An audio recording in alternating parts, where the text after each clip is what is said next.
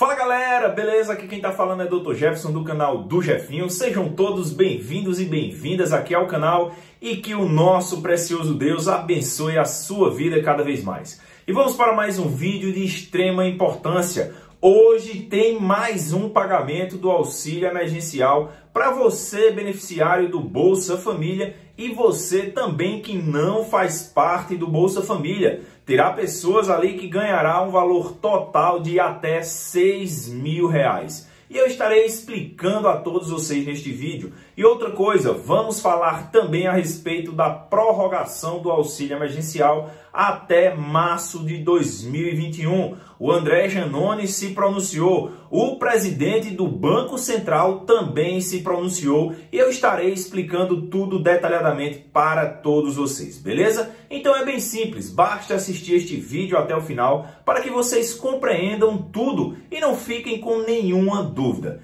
E outra coisa, se você ainda não é inscrito ou inscrita aqui no canal do Jefinho, não perde tempo não, já se inscreve, ativa o sininho de notificações, porque assim que lançarmos um vídeo, o YouTube vai lhe notificar. Compartilha, pessoal, com muita gente, compartilha nos grupos de WhatsApp, no Facebook, nos quatro cantos do Brasil, para que outras pessoas também saibam aí dessas coisas que estão acontecendo. E também, se desejarem me seguir lá no Instagram, é esse que está aparecendo aí na tela para vocês. Vão lá, comecem a me seguir, vocês serão muito bem recebidos, tá bom? E vamos para o vídeo, valeu?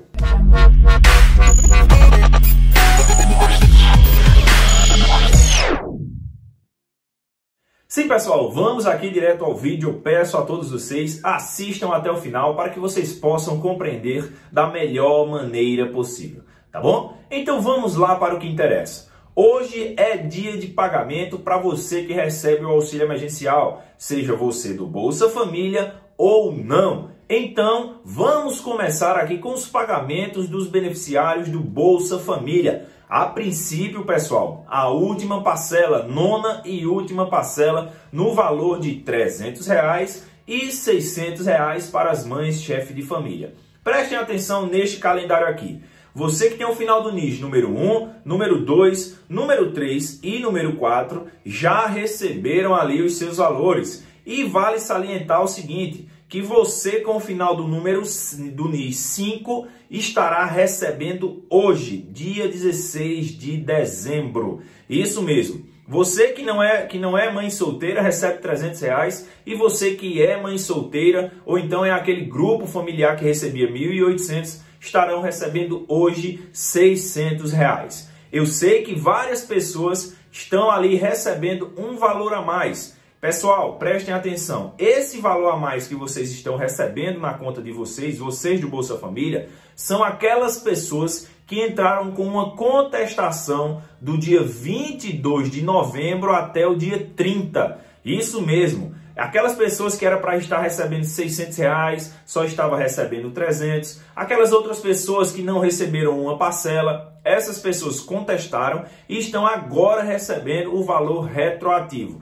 Jefferson, eu sou mãe chefe de família, era para também eu estar recebendo ali 600, só estou recebendo 300. Eu vou poder contestar? Sim, a partir do dia 20 de dezembro, tá bom? Até o dia 30 de dezembro vocês estarão podendo ali contestar. Lembre-se dessa data, tá bom? Lá no site do DataPrev, beleza?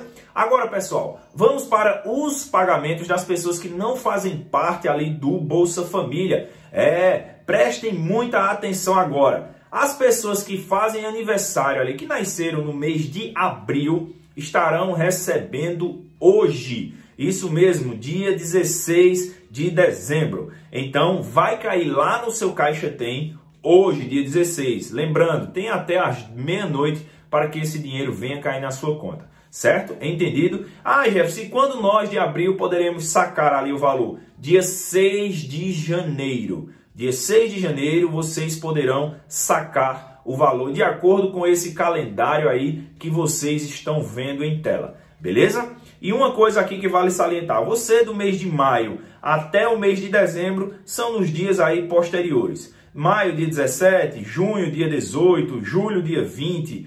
é, agosto, dia 20, setembro, dia 21, outubro, dia 23 de dezembro, novembro, dia 28 de dezembro, dezembro, dia 29 de dezembro. Esses valores irão cair ali na conta do Caixa Tem. E esse aí ao lado vocês começarão a sacar. Entendido até aí, pessoal? Tranquilíssimo. Agora, pessoal, prestem muita atenção que eu estarei passando para vocês agora, vocês que nasceram ali no mês de abril, quantas parcelas vocês irão receber, qual o valor das parcelas que vocês estão recebendo e de qual lote vocês fazem parte. Prestem atenção para que vocês fiquem ali atentos, porque tem pessoas que irão receber ali até 6 mil reais de uma vez só. Então prestem atenção.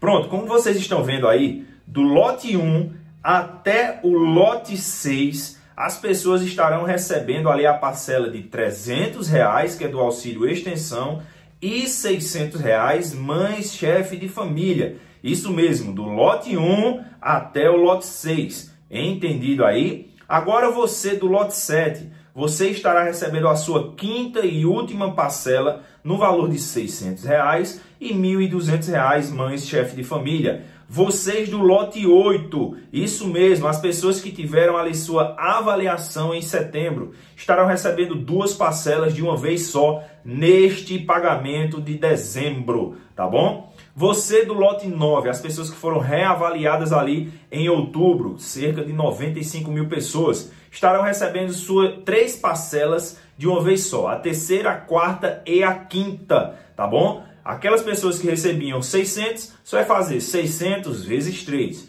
Vocês que recebiam 1.200, 1.200 vezes 3, que dá ali 3.600, tá bom? Agora vocês do lote 10, tem dois grupos nesse, nesse lote 10 aqui. As pessoas que já receberam uma parcela e vão receber quatro parcelas de uma vez só, e as pessoas que não receberam nenhuma parcela irão receber aí cinco parcelas de uma vez só, até seis mil reais, mães, chefe de família. Ah, Jefferson, eu não sou mãe, chefe de família, vou receber cinco parcelas de uma vez só. Quanto eu vou receber? Três mil reais. Muito bem, pessoal. Isso aí que vocês acabaram de ver são os pagamentos referentes ali ao mês de abril, de acordo com o seu lote, de acordo com as parcelas ali que vocês irão receber, tudo bem bonitinho para que você, para que não haja nenhuma dúvida. Beleza? Agora, pessoal, vamos lá. Vamos falar a respeito da prorrogação do auxílio emergencial que é de extrema importância. O André Genones, ao final, vou colocar aqui o vídeo dele, em uma live ontem à noite, já no finalzinho da noite, ele informou que no dia de hoje estará protocolando um outro projeto de lei falando a respeito do auxílio emergencial que seja prorrogado até março de 2021.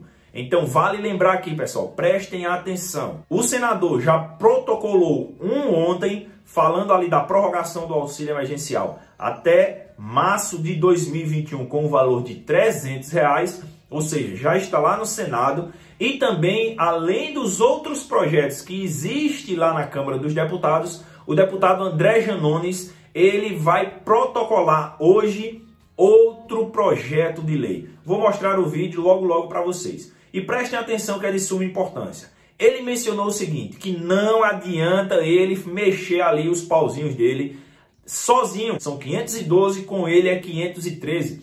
E ele sozinho ali não pode fazer muita coisa ele precisa ali do apoio do povo, como vocês sempre vêm fazendo. E é tanto ali o apoio de vocês, a movimentação do povo brasileiro, que o presidente está sendo pressionado ali à torta e à direita para que o auxílio emergencial seja prorrogado novamente. É de suma importância a nossa pressão. Jefferson, e já vai ser prorrogado esse, esse projeto de lei do André Genones? Não. É mais um projeto que está lá na Câmara dos Deputados. E para isso precisa ter a votação ali, o, o Rodrigo Maia colocar em pauta, ter a votação, depois vai para o Senado, depois do Senado vai para o presidente sancionar ou não. Se o presidente não sancionar, volta para os deputados ali, dá ali o resultado final. Agora, como nós já sabemos, o Paulo Guedes, ele não quer prorrogar o auxílio emergencial. Segundo Paulo Guedes, vai até o dia 31 de dezembro.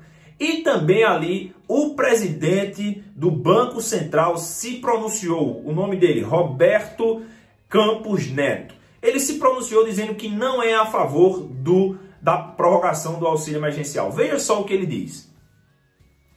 O Brasil está fechando, fechando novos acordos para conseguir a vacina. Agora é uma corrida para ver quem tem a vacina mais cedo. Como pode fechar a logística de distribuição?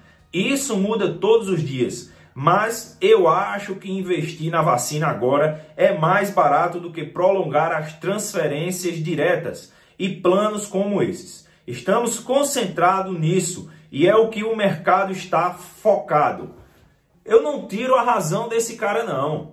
Claro, o governo tem ali que visar nas vacinas para que todo mundo seja imunizado o mais rápido possível.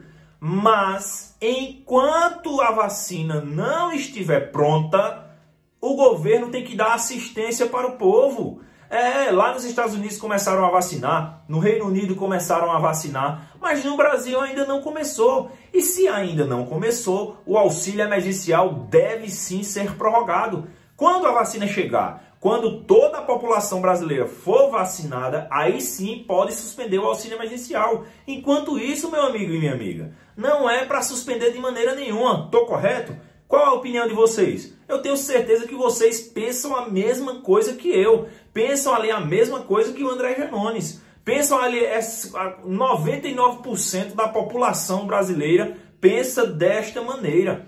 Se não houver a vacina, se não tiver nenhum programa que dê assistência ali para o povo, então tem sim que prorrogar o auxílio emergencial. Simples assim. Simples assim. Bem, pessoal, este foi mais um vídeo. Fiquem agora com ali a, o, o, o vídeo do André Janones falando a respeito desse projeto de lei. Se gostaram do vídeo, curte, pessoal. Compartilha, deixa o like também. Se não é inscrito, já se inscreve aí e também ativa o sininho de notificações, porque assim que lançarmos um vídeo, o YouTube vai lhe notificar. Um forte abraço, fiquem todos com Deus, valeu, falou e fui!